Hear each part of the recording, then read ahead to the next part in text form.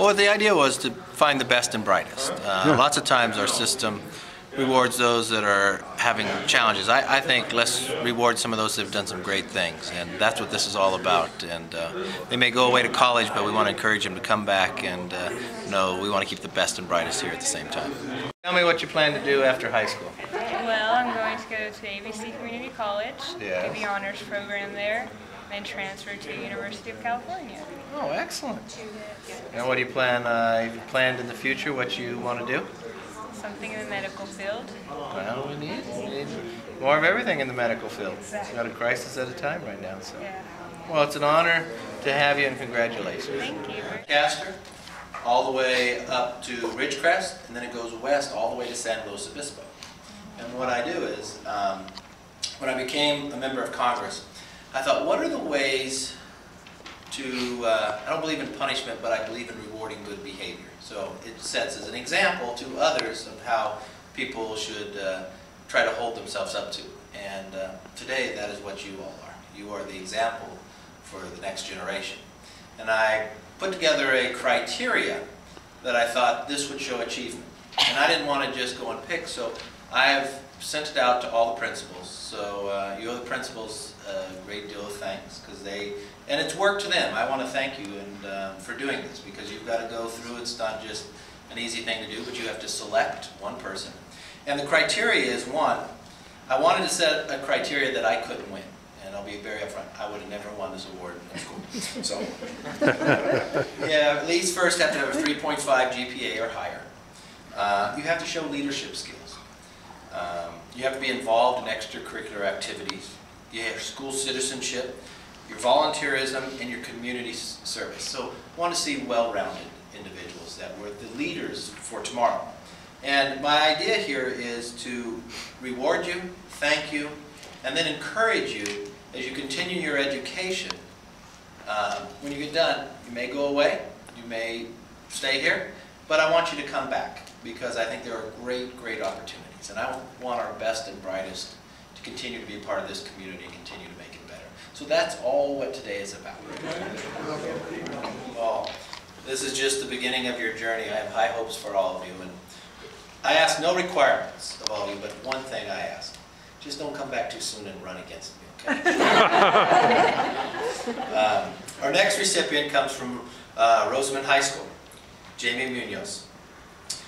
Jamie has been selected as our um, um, emeritus valedictorian for the class of 2009.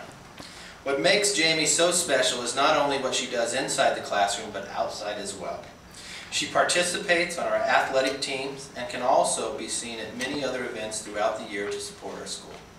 Jamie is also comes from a strong family and has a tremendous amount of support at home. With her hard work in the classroom and that strong support from home, I have no doubt that Jamie will be a huge success in life after high school.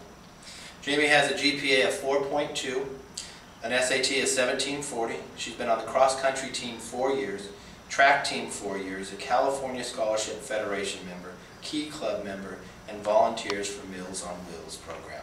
I give you Jamie Muniz.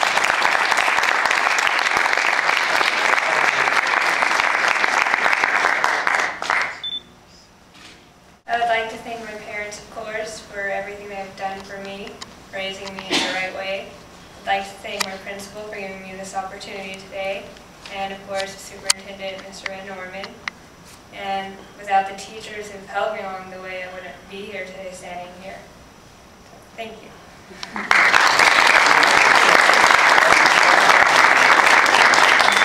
I'm going to attend the honors program at Antelope Valley College and then transfer to the University of California to go into the medical field.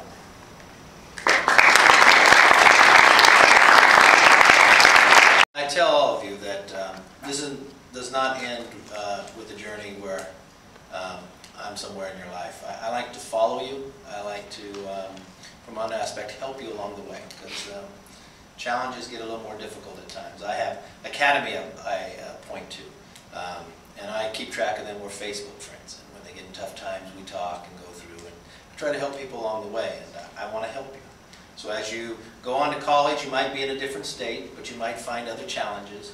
Um, please feel free to call the office, please feel free to call me, and uh, if you need letters or recommendation, or you need some encouragement along the way to not give up, give me a call, because I'm sure your parents have already told you the same, right?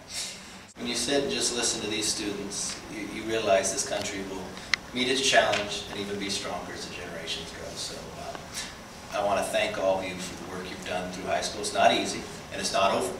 Uh, But I want to challenge you to even go further. And remember, this is a great place to live.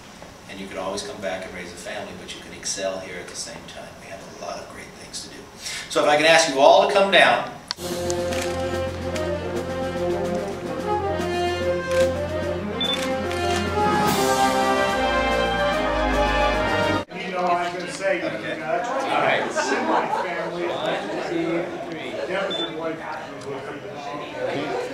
Can't see mom.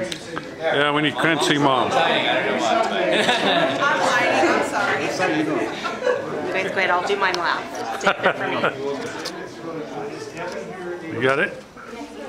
There we go. So this is the Congressional District of California Merit Award. Terrific.